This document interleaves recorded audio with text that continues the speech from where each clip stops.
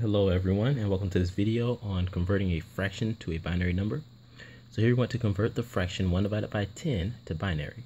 So what I'm going to do is I'm going to take our fraction which is 1 divided by 10.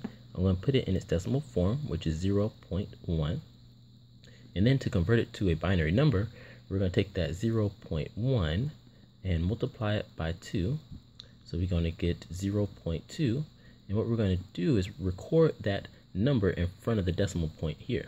So that number in front of the decimal point is 0. Then we take the 0.2 and we're going to multiply it by 2.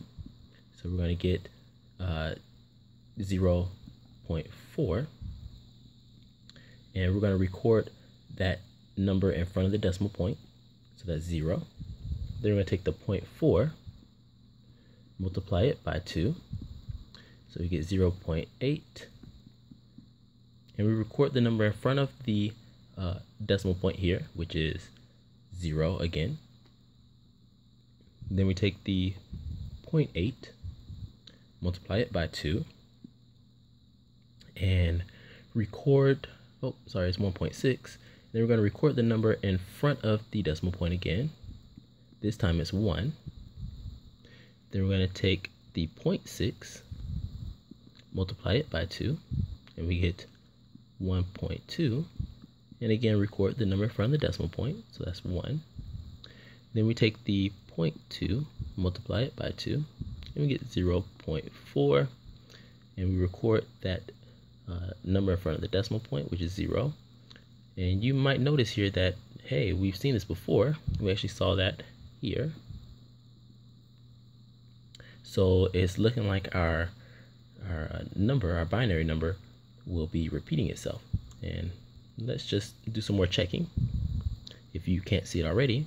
So you're going to take that 0.4, multiply it by 2, and we get 0.8, record the 0, take the 0.8, multiply it by 2, get 1.6, and we take the 1, and then uh, get the 0.6, multiply it by 2, get 1.2, and record the one.